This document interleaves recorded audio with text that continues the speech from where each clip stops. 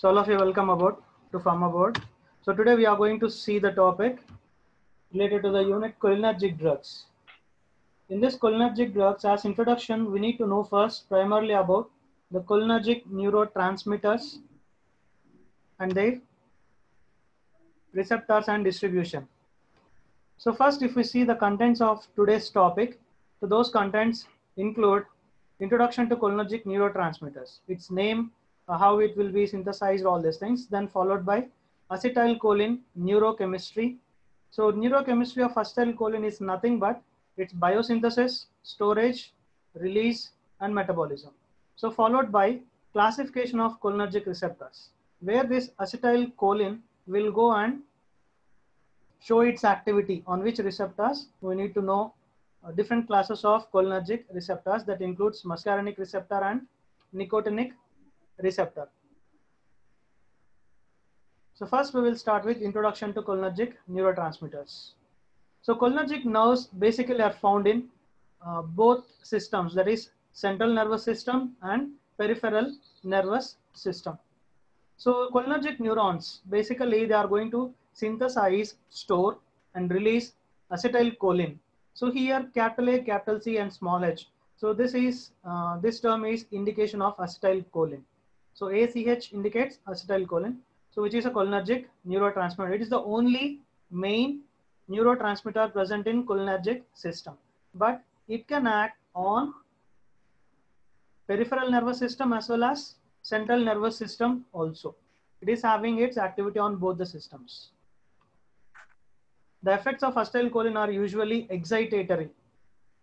So, but the thing is that there is an exception with two systems that is cardiovascular system and uh, urinary system. In cardiovascular system, especially only heart. So it is not going to interfere or it is not going to excite or it is not going to contract the muscle of heart, myocardium and smooth muscles of urinary bladder. It is not going to excite those muscular tissues. So the effects of acetylcholine includes relaxation of cardiac muscle. So we told here it is having excitatory. So acetylcholine is having excitatory action, but exceptions with heart and urinary bladder. So here you can see relaxation of cardiac muscle followed by vasodilation, increased salivary gland secretion. Here excitatory effect you can see increased salivary gland secretion, increased gastrointestinal motility and secretion. It is going to stimulate the gastrointestinal system. Thereby, we will feel like we are feeling uh, more hunger. Hunger, craving for hunger will be more because of acetylcholine. So excessive sweating, constriction of pupil, bronchiolar constriction, the air passages will be narrowed.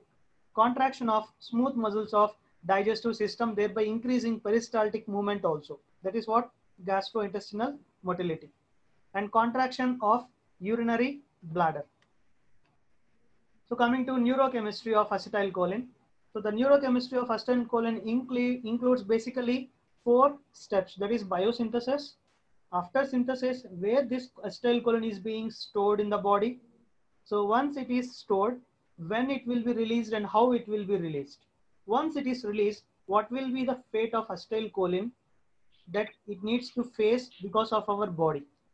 So then we need to see the metabolism of acetylcholine, how it is being, the action of acetylcholine being stopped by our body. So all these four stages includes neurochemistry of acetylcholine. So if you see biosynthesis of acetylcholine, so acetylcholine is synthesized. We are going to see a simple biosynthetic pathway. So by taking choline and acetyl coenzyme A as the precursors for the biosynthesis of acetylcholine. So acetylcholine is synthesized from choline and acetyl coenzyme A at the end of presynaptic neuron. So if there is a synapses, before starting of the synapses, there will be one neuron ending. After the synapses, there will be starting of another neuron. So before the synapses, the end of the neuron is called as presynaptic neuron. So after crossing synapses, we will call it as postsynaptic neuron. So this acetylcholine will be biosynthesized at the end of presynaptic neuron. So the reaction is catalyzed by the enzyme choline, choline acetyl transferase. In presence of this enzyme only, choline will undergo acetylation with acetyl coenzyme A and there will be formation of acetylcholine. So once you can see this animation on the screen. So acetyl CoA and choline are being reacted with each other in presence of choline, acetyl transferase giving acetylcholine. So now coming to storage, release and metabolism. So once the acetylcholine is biosynthesized, it needs to be stored somewhere in the body. As the acetylcholine is being biosynthesized at the presynaptic neuron, end of presynaptic neuron, so there will be a particular space in that presynaptic neuron itself in order to uh, provide storage for acetylcholine. So acetylcholine is stored into the membrane bound vesicles by means of a specific transport protein. So there will be some structures called vesicles at the end of the presynaptic neuron. So just like a hollow space. So those are called as vesicles. In that vesicles, this acetylcholine will be stored through a transport protein. So once storage has been completed, how the stored acetylcholine will be released to carry out its normal function. If it releases, then only it will show its activity how this acetylcholine is being released. Whenever, if there is any passage of nerve impulse or nerve, nerve signal, a new nerve signal, so that will stimulate the calcium channels where the calcium channels will be opened and intracellular calcium um, accumulation will be increased means entry of calcium ions will increase into the cell. So once the intracellular calcium concentration increases, so this will induce the vesicles to fuse with the cell membrane. So whatever the end surface of presynaptic neuron is present, at the end, there will be a particular surface. This vesicle will go and fuse, it means it will reach and fuse at the end of the surface, cell membrane surface. Then the release of neurotransmitter will occur in the synaptic cleft or synaptic gap. So once the acetylcholine is released, it will be present in synaptic cleft. What it is going to do? So basically it needs to exhibit or elicit its function. Once the function is completed, then it should not be present at that synapse. So if concentration increases, excitatory activities will increase. It, it won't be good for the homeostasis of our system. So for that purpose, our body will uh, give negative feedback mechanism through which acetylcholine will be lysed, that is metabolized. So this process we are going to see now. acetylcholine when released into the synaptic cleft, so it crosses the synaptic cleft, that is synaptic gap. So after synaptic gap uh, means in post synaptic neuron, so the on its surface there will be receptors called as cholinoceptors, cholinergic receptors. So these receptors are highly specific for acetylcholine. Acetylcholine will cross the synaptic gap and it will sit on the surface of cholinoceptor and it is going to activate this cholinoceptor which results in eliciting the desired function. So like this.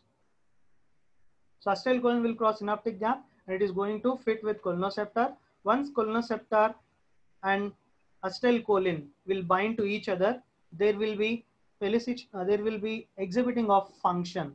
So function change in the shape of cholinoceptor occurs, which results in carrying out respective function of acetylcholine. Once the function is completed, so then the concentration of acetylcholine should be maintained in adequate level not to disturb the homeostasis. For that purpose, there is another fate the acetylcholine should undergo at the synapse or synaptic cleft. So that is metabolism. So this metabolism will be carried out in the presence of acetylcholinesterase enzyme. So this acetylcholinesterase enzyme will act on acetylcholine and it is going to break the acetylcholine into two fragments. One is choline and the other one is acetic acid.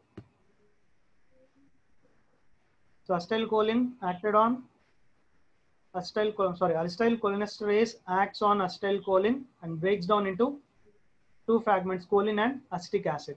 So here choline is the chief metabolite. So but this choline is also useful. As you know in biosynthesis so we are using choline. From choline only acetylcholine is being biosynthesized. So the formed metabolite choline will be taken for biosynthesis of acetylcholine again by the body through a transport protein. So once the transport protein will activate this choline, it will result in the formation of acetylcholine. It will participate in biosynthetic pathway to give acetylcholine.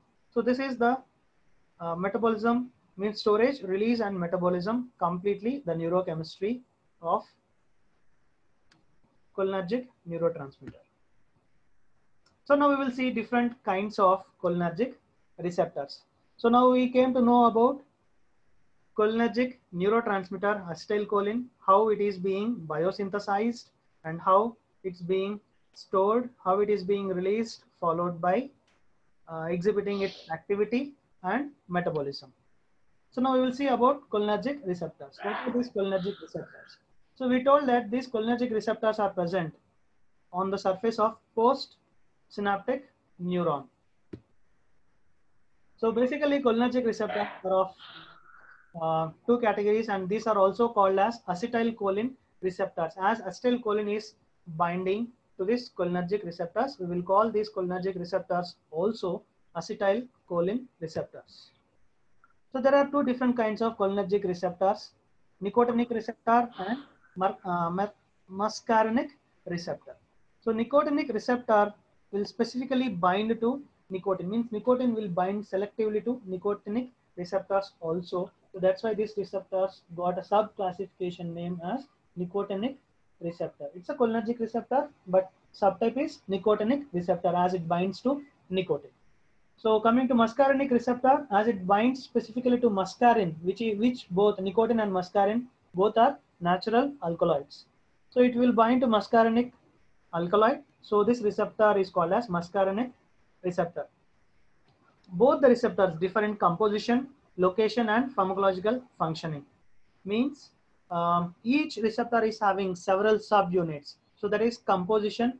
So they differ in that composition and these two receptors are distributed throughout the peripheral and central nervous system in different different locations and pharmacological functioning is also different for both the receptors so as i told you these receptors nicotinic and muscarinic subtype receptors are named based on their ability to bind to nicotine and muscarine which are natural alkaloids both the receptors are having their own subtypes means again subclassification we need to see for these receptors so these uh, receptors are widely distributed within both peripheral and central nervous system. Now let us start with nicotinic receptors and their distribution. Nicotinic receptors are ligand gated ion channels with five subunits. So these subunits are called as alpha, beta, gamma and epsilon. So the subunit combination determines the ligand binding properties of the receptor. Means there will be uh, different means. For example, if we are taking one nicotinic receptor that may be having two alpha subunits, one beta subunit, one gamma, and one delta subunit. Totally five subunits will constitute one nicotinic receptor.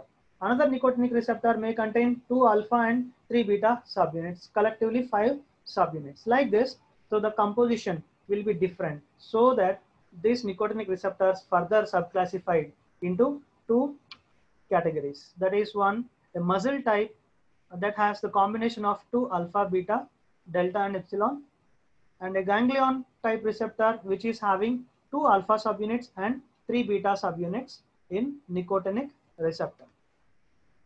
So nicotinic receptor occurs in means it is nothing but distribution. So these receptors are found in autonomic ganglia, adrenal medulla at skeletal neuromuscular junction in order to carry out the function of neurotransmitters.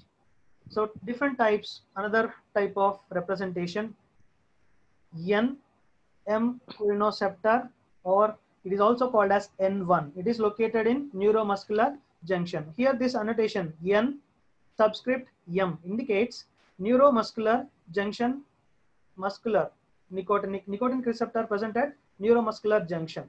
So and N cholinoceptor, N2 type, which is located in autonomic ganglia.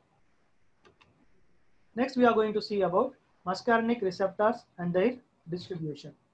So this is a major important uh, class of cholinergic receptor which is widely spread in the human body. It is having various numbers of subtypes of muscarinic receptors. So muscarinic receptors are basically of G protein coupled receptors.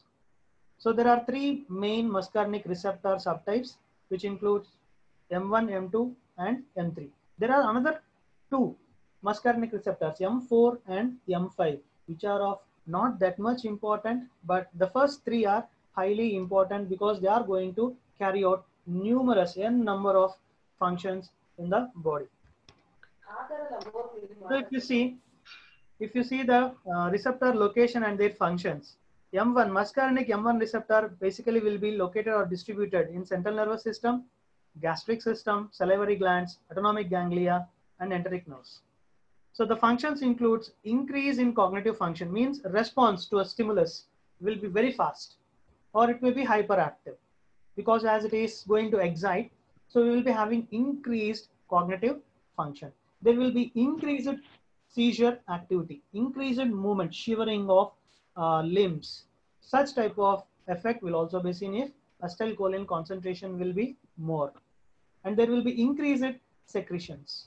So if we are seeing any food while we are having too much of hunger, means we got starved. At that time, if we had came across to see a delicious food, so automatically the saliva in our mouth will secrete too much. So here acetylcholine is going to activate the secretion of saliva from the salivary glands. So increased autonomic ganglia depolarization, decreased dopamine release and locomotion.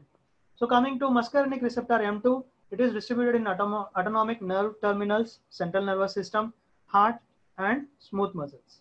So here contraction of smooth muscles will be increased neural inhibition in periphery via autoreceptors and heteroreceptors will be seen.